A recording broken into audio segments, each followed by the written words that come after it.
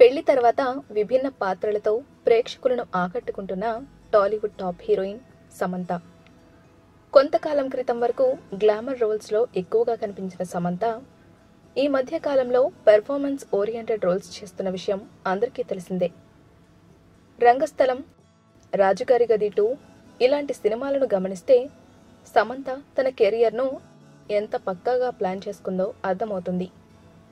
అయితే మరోసారి సరికొత్త పాత్రలో తెరపై కనిపించనుంది. తన అప్కమింగ్ మూవీలో డెబ్బై ఏళ్ళ వృద్ధురాలిగా కనిపించనుందట సమంత. వివరాల్లోకి వెళ్ళినట్లయితే రెండు వేల పద్నాలుగులో వచ్చిన కొరియన్ మూవీ మిస్ గ్రానీకి రీమేక్గా తెలుగు తెరపైకి వస్తుంది. ఈ మూవీలో ప్రధాన పాత్రలో పోషించేందుకు సమంత అంగీకరించినట్లు టాక్. ఈ సినిమాలో వృద్ధిరాలుగా ఉంటూ అతీత శక్తులను కలిగిన ఆమె అవసరమైనప్పుడు యవ్వనవతిగా మారిపోతూ ఉంటుందట. నందిని రెడ్డి డైరెక్షన్లో ఈ మూవీని తెరపైకి తెచ్చేందుకు ప్లాన్ చేస్తున్నారు. భారీ బడ్జెట్తో నిర్మిస్తున్న ఈ చిత్రంపై భారీ అంచనాలే ఉన్నాయి. ఈ డిఫరెంట్ మూవీని తెలుగు ప్రేక్షకులు తప్పకుండా ఆదరిస్తారని చిత్ర యూనిట్ ఆశాభావం వ్యక్తం చేస్తుంది.